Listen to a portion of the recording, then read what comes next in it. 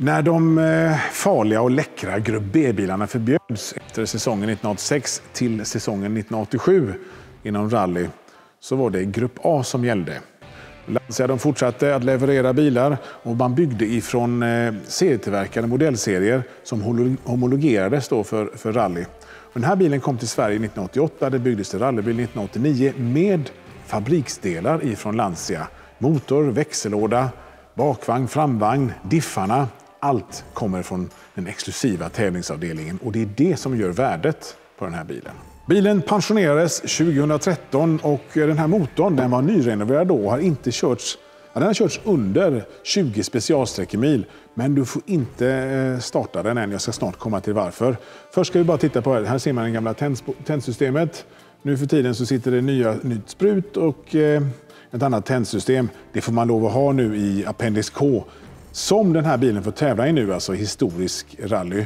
Och så det jag sa innan, det är där innanför du inte får starta bilen innanför. Där sitter kamremmen och den måste bytas innan den här motorn startas igen. Här ser man eh, dörrklädseln från den eh, originalbilen, homologeringsbilen. Och faktiskt ingen vev. Det finns elhissar på den här också. Eh, trots att den är så gammal.